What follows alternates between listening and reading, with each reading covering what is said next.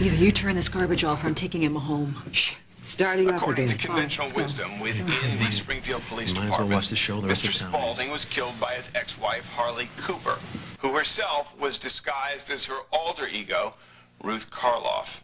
Mr. Spaulding had kidnapped the couple's children. She was in a fit of rage and showed up, and a fight ensued, an argument, if you will, at her Please, father's Harley's disguise restaurant. is so much better than Company. that. Harley, take off. No right to keep them from me. You're a terrible mother! You're a terrible mother! Terrible! Do it. I'm gonna do You it. won't do it.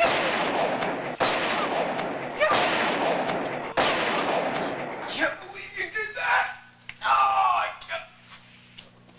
They argued, and in the melee that ensued, Mrs. Spaulding, the former Mrs. Spaulding, Harley Cooper shot several bullets into Phillip Spaulding, and he died shortly thereafter. And that may be how it indeed happened.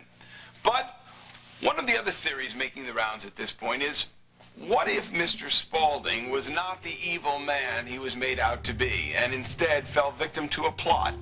A plot which was hatched by Harley Cooper, Olivia Lewis, and her new husband, Bill Lewis, don't you have a dress like who that? himself was an admitted enemy of the Spaulding family.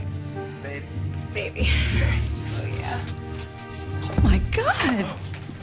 What do you have a gun? What do you have guns for? Two guns. Listen, do not make me suffer, please. I don't like suffering. I'm a Buddhist. You know what?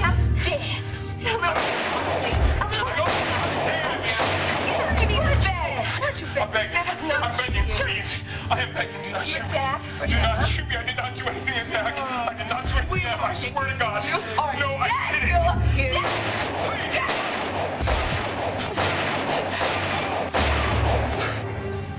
What if this was not a case of an evil man who had just made enemies, but instead a defenseless man who was just there trying to protect his children and instead wound up dead?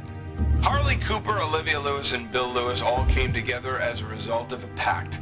A pact born of jealousy and anger and rage. A pact which brought together two vengeful ex-spouses and a witless accomplice and which resulted in the ultimate, the most heinous of crimes, murder. Two scorned wives bent on revenge, four lives forever seared in a cauldron of rage. The result? Phillip Spaulding, a billion...